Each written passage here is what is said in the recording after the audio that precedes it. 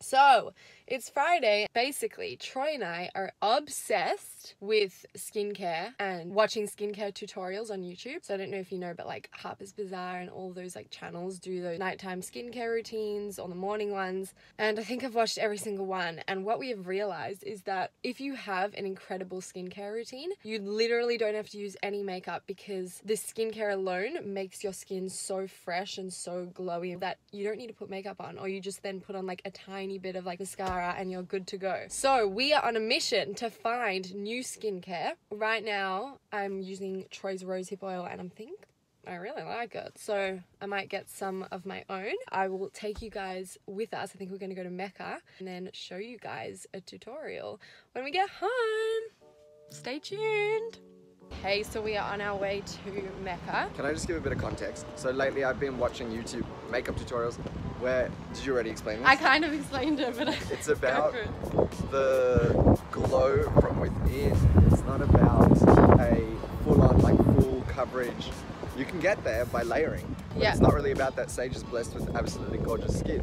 So I reckon she should be doing just like a nice, like glowy something and then Yeah. a sheer foundation. As I said top. to them, how I put on your rosehip oil, Yes. and I feel like that has already made my skin so glowy. So maybe I should just get my own of that, Yeah. and then a cute blushy highlighter. Yeah. And I feel like that will be good to go. Rosehip oil has been my go-to for a long time now. Never got a pimple from it or anything like that. Makes you glowy and it's so cheap and you can get it from the literally like the pharmacy, the chemist, anywhere. Yeah. You don't even need to get the fancy one at all. So maybe we won't even end up buying anything from Mecca, but it's such a beautiful store, so we should just We're go, gonna go putz around. check it out.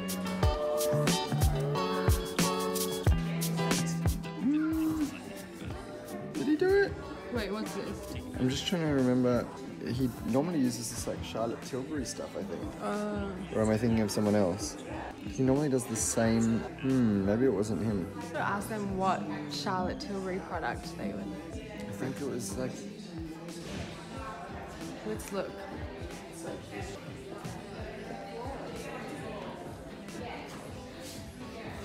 A real glow getter. Okay, so we have found this Drunk Elephant tinted moisturizer. Guys, I'm just editing this and I refer to that product as a tinted moisturizer throughout this video and it's not and I feel like Troye was trying to tell me that throughout the day but it just didn't go through my head. So basically they are called sunshine drops because it's not a moisturizer, it's more like a liquid face tint that you add to moisturizer and it gives you a glow. Which is really nice. Put a bit on my hand, but you can't really tell. It's nice. It's really nice. So I think we're gonna get that and then go to a chemist and get a rosehip oil because you can get pretty cheap rosehip oils, right? Yeah, definitely. And then maybe a sample size of a blush. Why Okay. does your hand look really red? Th- Well, this one's red and then this one's yellow. Um, there, you can tell. This has the product on it. Okay, we're back in the car. We've got the merchandise. Do you want to explain what we got? We literally just got the little guy. We um, ended up only getting one the drunk elephant. because Put my belt on. I guess we got in there and reality kicked in and things are very expensive. So we only ended up getting a tinted moisturizer because we are going to go and get a rosehip oil. Which is so cheap and amazing. And then also Sage has everything else that she needs already. But I'm gonna try this quickly, but I don't know where to put the camera. Okay, Oh.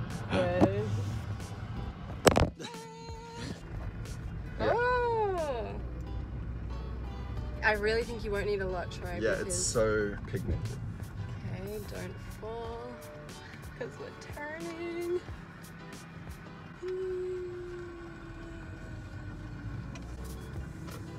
Can you notice?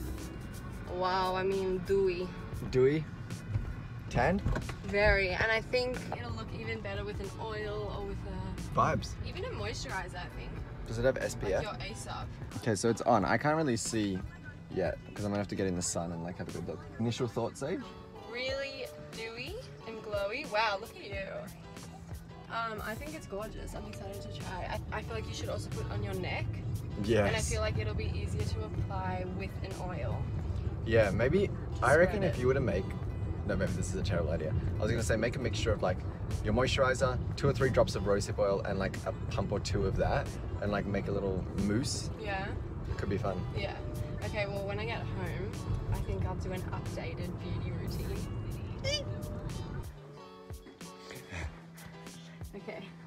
Okay, so Troye and I have just gotten back from Mecca and I thought I would show you my updated beauty routine even though I've never used this before. Hopefully it works out. I guess this is actually a review video. Kind of, yeah. First impressions. Cool. Look at that. First things first, I showed this in my last video. Basically, this is what I use to wash my face. It is the Dr. Dennis Gross Pore Perfecting Cleansing Gel. So I just used that. I am loving it and yeah, I highly recommend it. So this is the moment of truth. This is the product we walked out with from Mecca. It is the Drunk Elephant Anti-Pollution Sunshine Drops. So it's like a tinted moisturizer.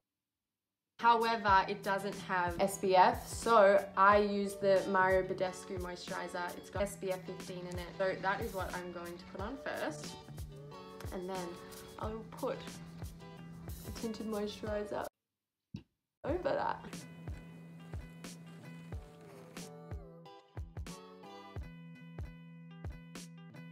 Once I have put on my moisturizer with SPF 15, I'm going to try out this Drunk Elephant product with rosehip oil because our aim here is to use as little makeup as possible but still have glowy skin. I'm gonna take like one to two pumps. Is that a lot? It's hell pigmented. Okay, this might be like way too dark for me, but it looks really good on you. How many drops did you use? One and a half pumps. They do look a bit. Is that, like do you orange. reckon? No, th- that's like a good amount. I, if I was you, maybe I would dot it on because then you get it even. Okay. I don't know what you reckon. Now I'm gonna add the rosehip oil before. Just take like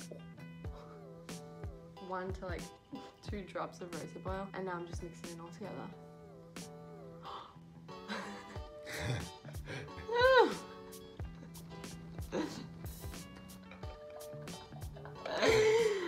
Okay, so obviously I'm just gonna have to keep rubbing it in.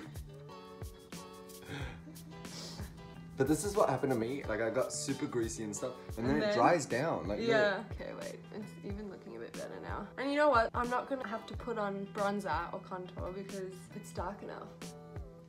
it's really dark. It's really dark. Shit. No, as in put some on your neck. I reckon you could just maybe use less. Okay. Maybe that's the heat because I really like how it feels. Yeah, Maybe yeah. that's the rosehip oil, but No wait, it's it's getting better and Yeah. better by the second. also I like. Wow, you look like you got back from Byron. I also like using my hands because it just really warms it up. It gets it rubbed in. Just for the record, my process was I put foundation, sorry, moisturizer in my hand, a couple drops of the rosehip oil. I mixed those two, and then I put like a little. Oh. Okay, that could Yeah. be a better way to put it on. I feel like I like that. It even looks better in real life. And if it's too much, you can just get a beauty blender. Can I flip the camera and show them what it looks like? Sure. Yeah, that looks really good. After a sufficient amount of rubbing in, I feel like it actually looks really nice. Okay, good product. so the next thing that I would do is take an eyebrow pencil. Do just I go cross-eyed? No, no, no. I just realized I'm like half in this video, like I go. I'm just chilling in the corner. Okay, I'm gonna leave you for the rest. Okay, you say bye. Bye, everyone. Okay, so next in my beauty routine, I would take a brow pencil. I just finished mine, a Glossier one, which I love and would highly recommend using. I think it's called the Brow Gel. However, I finished it. So I'm using Troye's. This is the Revlon ColorStay Brow Creator. Now, I didn't actually know this, but there are three parts to this pencil.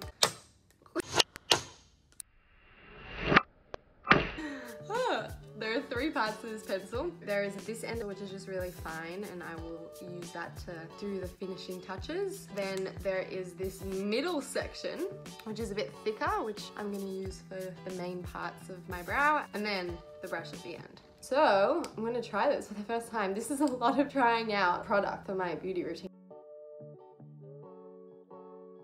I personally like my brows really like bushy and not perfect. So if they're not perfect, that's just that. I guess that's enough for like the main part of my brows. Now I'm going to take the more precise end of the pencil. I really like this pencil, Troye. It's good, eh? It was like four bucks. I don't actually know that, so don't put that in there. As you can see, really, really casual brows. Once I am done my brows, I then usually go in with concealer. This is the concealer I've been using forever. It is the BareMinerals BareSkin Concealer. For every day, I just take a bit and put a tiny bit under my eyes. And then I put on any spots and just on my chin to brighten it up. What I love about this concealer is that there is so much that comes off of the applicator. So you really don't have to use a lot. And then I just blend it in with a damp beauty blender.